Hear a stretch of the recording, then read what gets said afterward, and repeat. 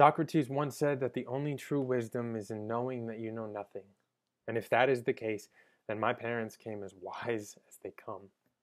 My mother tells my father at 3 a.m. on a subway platform in New York City that she is pregnant, and my pop says, Okay, what do you want, Nana? And she says, I want my kids to never have to worry about where their next meal comes from. I want them to know more than this studio apartment with a single mattress on the floor we got as a wedding gift. I want them to know more than spaghetti and hot dogs for dinner. And my pop says, okay, let's do it. Now, my sister was born premature with a hernia. When I was born, my mother was advised because of spinal issues that she should have a C section. She said no. When I was 12, my brother passed away by the time I was 13. My mother had had four spinal surgeries and spent close to a full year lying on her stomach.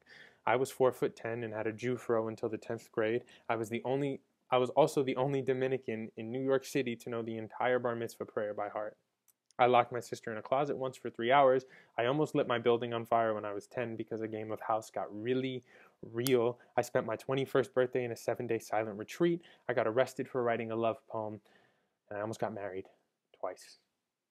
Now, recently, someone asked me, Chris, do you believe everything happens for a reason? And I said, I don't know. I want to say yes, but I don't know. And she said, Why? And I said, Well, because I'm here. Because you're here.